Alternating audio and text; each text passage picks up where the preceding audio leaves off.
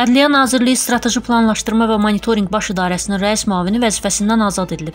Qaynar infonun məlumatına görə bununla bağlı Ədliyyə naziri Fərid Əhmədov əmr imzalayıb. Əmrə əsasən idarənin rəis müavini Kazımov Süpi Əlioğlu işdən çıxarılıb. Qeyd edək ki, 2018-ci ilə qədər Təhsil Nazirliyinin hazırda Elm və Təhsil Nazirliyi hüquq şöbəsinin müdiri vəzifəsində çalışıb və həmin ildə Ədliyyə Nazirliyinə təyinat alıb. Uzun müddət Qarabağ Regional Ədliyyə İdarəsinin rəisi vəzifəsini icra edib.